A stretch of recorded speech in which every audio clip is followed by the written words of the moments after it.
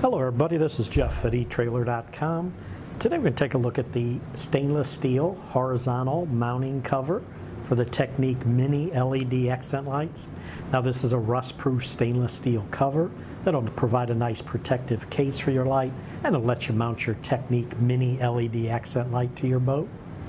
Now I did want to pop up an insert just to show you what it looks like. This That's the picture is a cover, this cover with the light installed in it, so you can see how it looks. It is designed for horizontal mounting applications. And this does mount using two number four screws. Now those are not included. You would have to supply those. This is a durable stainless steel construction.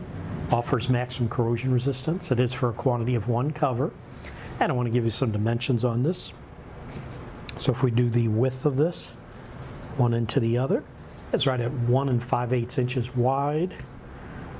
The total height on this is going to be right at about three quarters of an inch tall. And the total depth on it is right at a half inch deep.